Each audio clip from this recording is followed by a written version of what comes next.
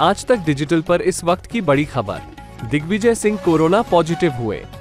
Social media पर दिग्विजय ने दी जानकारी। दिग्विजय सिंह ने एक्स पर ट्वीट कर जानकारी दी। दिग्विजय ने ट्वीट करते हुए लिखा, डॉक्टर्स ने पाँच दिन आराम करने के लिए कहा है। सभी लोग कोविड से बचने के लिए ख्याल रखें।